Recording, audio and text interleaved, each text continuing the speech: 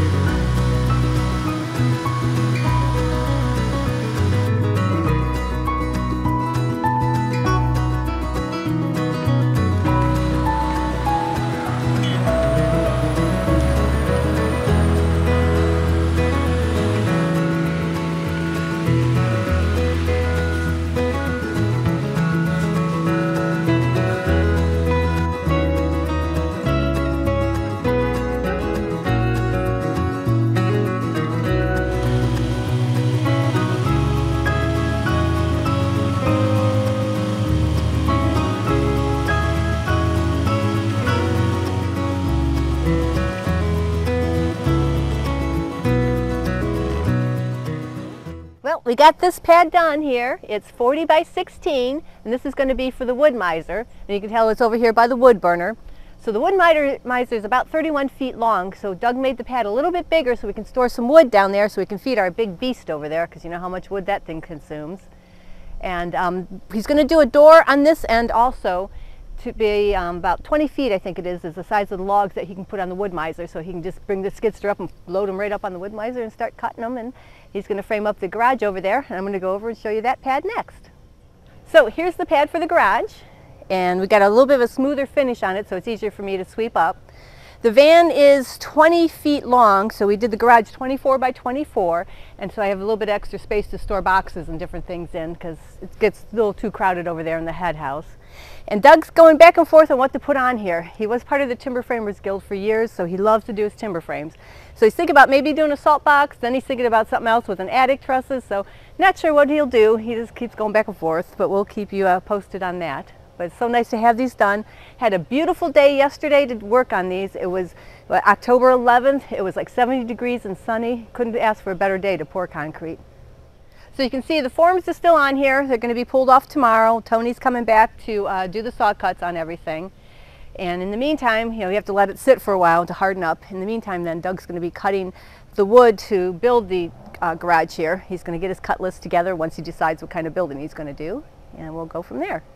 So back here in the weeds that have died off are some cants that Doug had cut a year or so ago. They don't look too happy right now, but once Doug gets them back on the mill and resurfaces them and get them all straight, they're going to be really nice timbers to do for the garage and his uh, lean-to for his Wood-Mizer.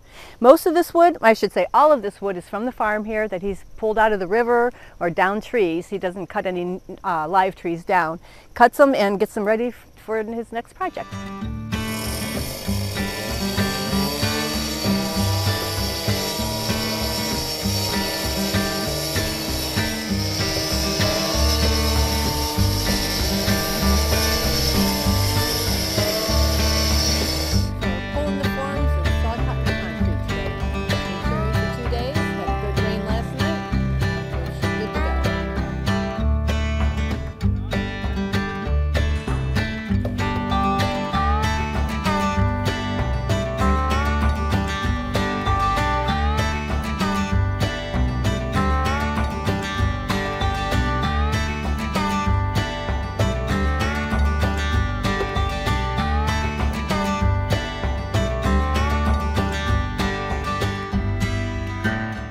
Hope you guys liked today's video. A little bit different than what we usually do with the hydroponic, but we decided we might as well show you guys everything that we do around the farm here. For us it's really interesting, so we hope you think it is too. I do have some hydroponic stuff coming up. I've been doing some seeding and getting the greenhouse ready to go. So that'll be in the future here. I'm excited about getting the greenhouse going again. I really miss it. And so stay tuned for that. So leave me any questions, comments, and suggestions down below, and we'll see you guys next video.